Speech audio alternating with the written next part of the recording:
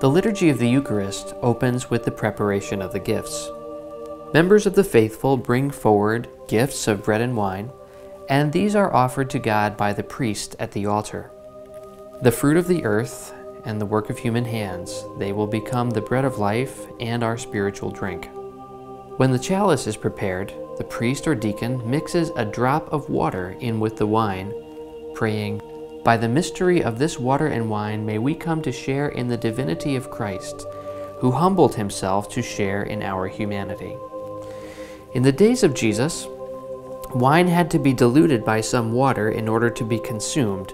but the Church has retained this practice to emphasize that our humanity is taken up into Christ's divinity by God's grace and by the redemptive act of Christ, just as the water becomes inseparable with the wine.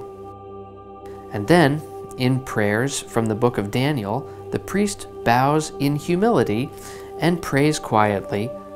saying, With humble spirit and contrite heart, may we be accepted by you, O Lord, and may our sacrifice in your sight this day be pleasing to you, Lord God.